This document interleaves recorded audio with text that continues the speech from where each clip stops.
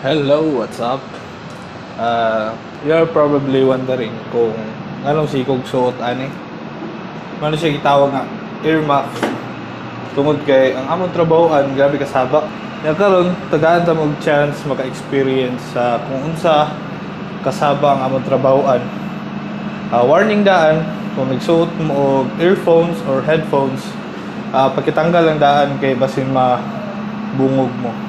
So natakaroon diri sa tubangan sa engine room, mao ni siya ang access door sa engine room. So before ta mo sulod, tagtanga daan yung earphones o sulod ta. Ako Brian.